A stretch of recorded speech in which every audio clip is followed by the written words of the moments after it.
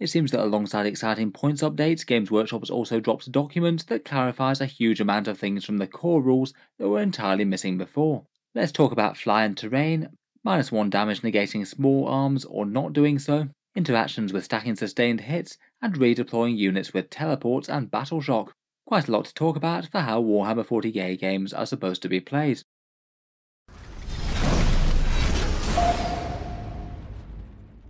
Hello and welcome back to Auspex Tactics, where Games Workshop's certainly been dropping a whole load of content on us over the last week or so. All the indexes for just about every army in the game, now a whole bunch of points costs, and now basically really quite a lot of clarifications and updates to the core rules in a document that they've called the Rules Commentary. I must admit this document looks like really quite a good one, really clears up a whole load of questions that people had about the game of Warhammer 40k and how it was played. There were a fair few things that just needed addressing as per the core rules. It is maybe a little bit weird that they've decided to call this a rules commentary as opposed to an FAQ or errata type document. I don't really think that it entirely counts as being a commentary really, seeing as it actually makes a fair few actual core changes to the way that certain rules work and there are quite a few things here that probably should have just been flat out in the core rules in the first place. The document really is a pretty dense and fairly intense one, 18 pages worth of tiny scripts and double columns, admittedly very nicely set out though, and really quite easy to reference. And perhaps the most important part is there's big answers to really quite a lot of questions, hidden amongst a whole load of definitions to things that are kind of basic or obvious. The document basically feels like the rare rules section of the 9th edition rules or the rules appendix for I think 8th edition before that. A big collection of rules that maybe don't come up all that often and basically have a core way of deciding the result of certain important interactions between units, perhaps particularly focusing on things off datasheets, though there are things from the core rules as well. In terms of actual interesting content of this, there's a big change to minus 1 damage abilities, changes to fly, redeployed units and battle shock, and just a few helpful clarifications for things like big guns never tire and interactions with terrain, which a few people were wondering whether or not they'd intended one way or the other. Jumping right into it, let's start with the minus one damage thing. This is a rule that was really quite common in 8th edition, though is a bit more rare in 9th. There are a few places where it crops up, Things like Redemptor Dreadnought still have it. You can have it for a couple of two command point stratagems on Guard or Death Guard. And other things like the Tyrannofex and the Storm Raven just have it built in innate. The change for these rules between 9th edition and 10th, though, was that usually it was listed to minus 1 damage to a minimum of 1, and that rider was gone from the 10th edition rules. Initially in the core rules, there was literally nothing that stopped you reducing a weapon's damage characteristic to zero, and it just meant that these units would be 100% immune to certain small arms, something that Warhammer 40k doesn't generally tend to allow by game design. I did think it was kind of unlikely to be intentional, just about nothing else in the game gives you 100% immunity against a unit's full attacks, and it does indeed seem that it wasn't. Basically the change for this one just comes from their modifiers rule, clarifying that it can't be reduced less than 1, pretty decent to know, seeing as it's really quite a big deal for those units and the units trying to kill them. Does seem like something that should probably have been in the core rules though, or maybe could do with just editing that digital document to put it in. I feel like it probably was just absent by an error. It had been quite tight on a bunch of other things, such as modifiers to hit rolls and wound rolls and things, just the damage things seem to have slipped through.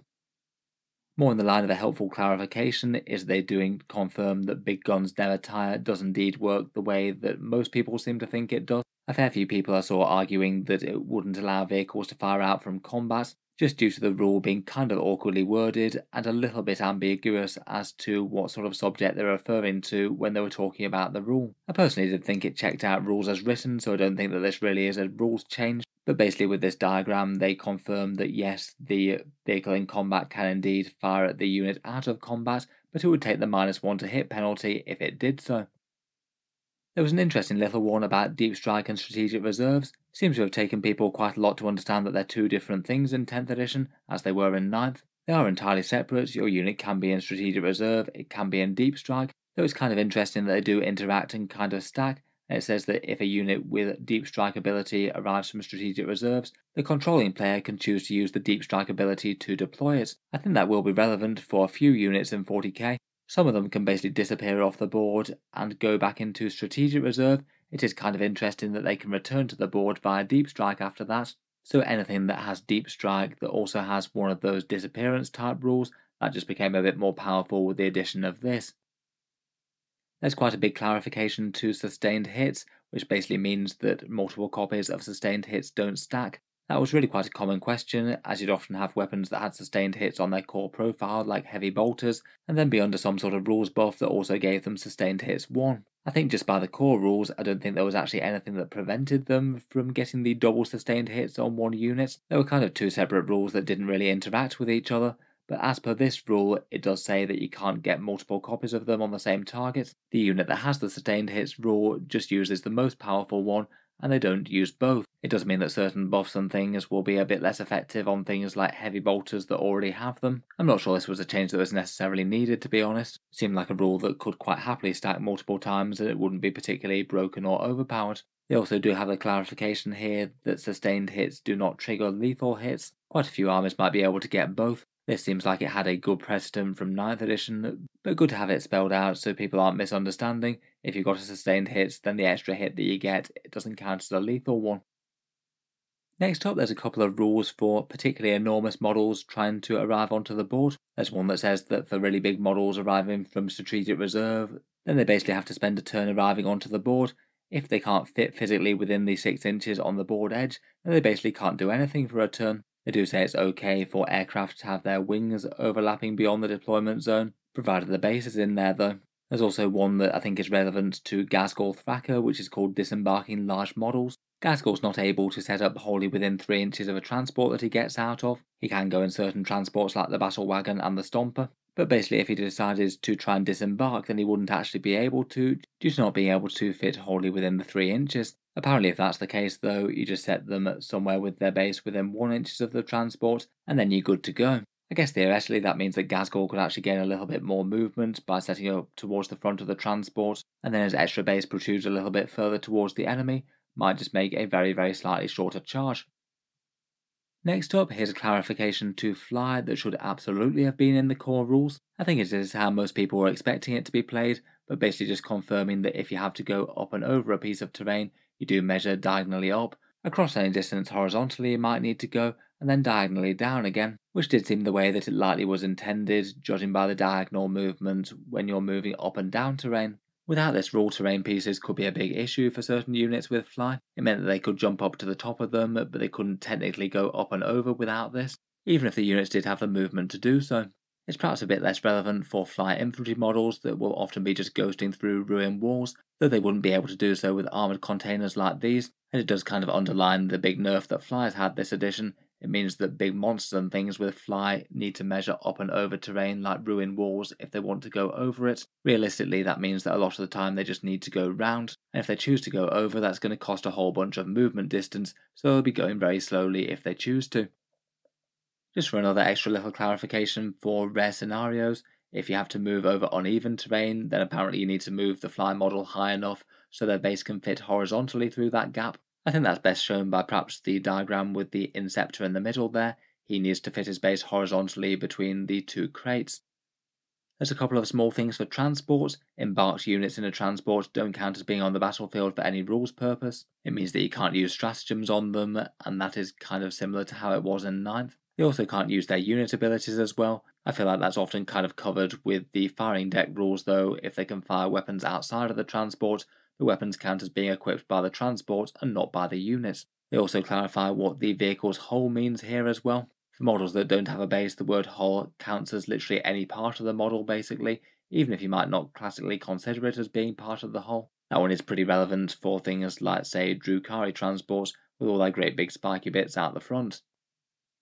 Another thing that's definitely a rules change that will absolutely be relevant to armies like Grey Knights is that apparently you can't be teleporting around to hide from battle shock. When people saw the Grey Knight faction ability, they thought it might be a good excuse to basically teleport off the board at the end of the opponent's turn, avoid the battle shock step, and then turn up in your own reinforcement phase, avoiding the check even if you happen to have a depleted unit. The biggest change to this, to make sure battle shock's relevant even for them, is that if the repositioned unit is below half strength and was not on the battlefield during the command phase, it must take a battle shock test as if it were your command phase after it's been set back up. That's definitely not enormously intuitive and was not in the core rules before.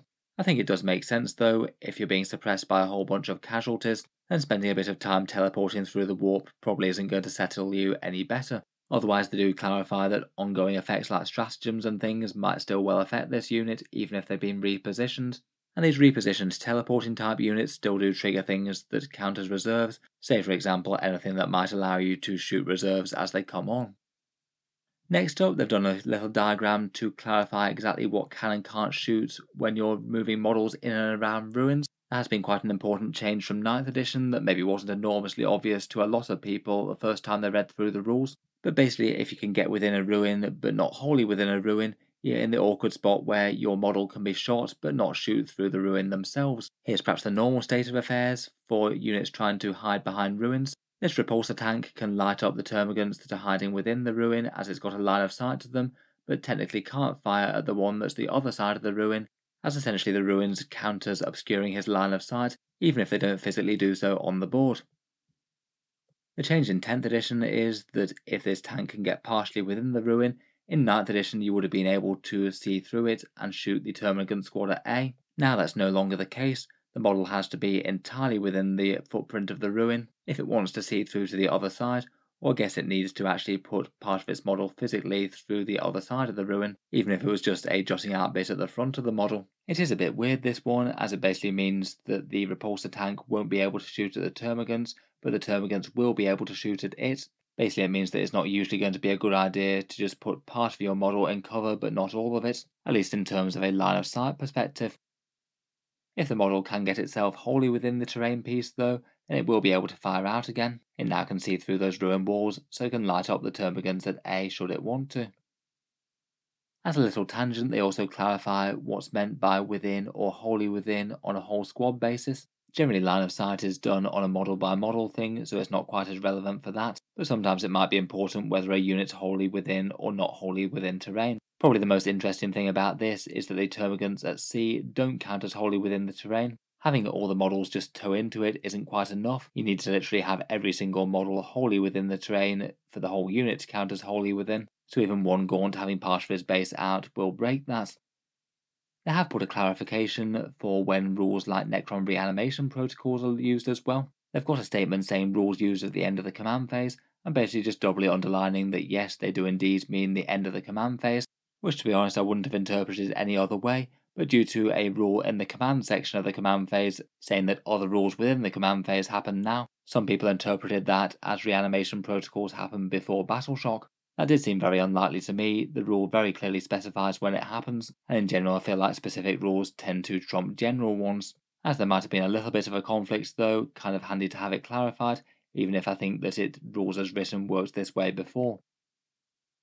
Otherwise, it still looks like that attacker's priority rule is making the jump from 9th edition to 10th. This one's just a rule to iron out a few niche conflicts. Some exotic rules might say that you can only hit this unit on a 6 plus, or you always wound the enemy on a 2 plus, say with the anti rule. And in any of those cases, it just means that the attacker's rule trumps the other one. So say if you had a rule that meant you could only be hit on a 6 plus, and a rule that meant that you always hit on a 3 plus, the rule hitting on the 3 plus would take precedence. It also means that the anti-rule would beat, say, transhuman physiology if it existed in 10th edition, and certainly beats the minus 1 to wound rule.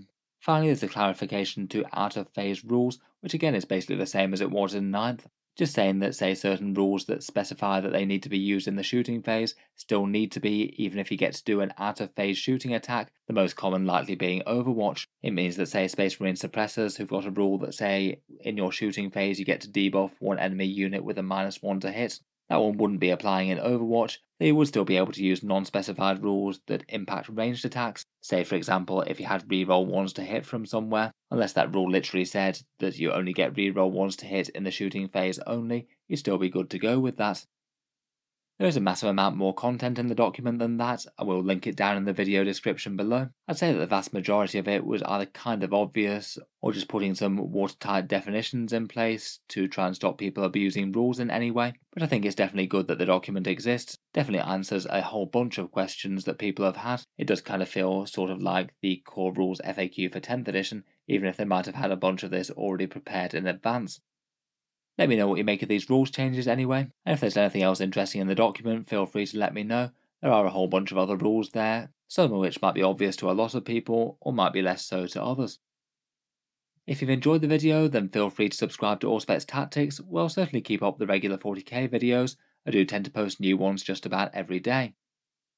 Finally, if you have been enjoying all the videos on the channel, I would just like to mention that Auspex Tactics does have a Patreon page as well, and that's the main reason I can dedicate quite so much time and effort to making videos like this, and if you're enjoying, any support is enormously appreciated. Channel patrons do get a fair few advantages, seeing certain videos early, regular votes to see what sort of things come next on the channel, and automatic entry into the regular prize giveaways with a chance to win some big model kits each month. If any of that sounds good to you, or you'd just like to help support, the link is down in the video description. In any case, a massive thank you for listening, and I'll hope to see you guys next time.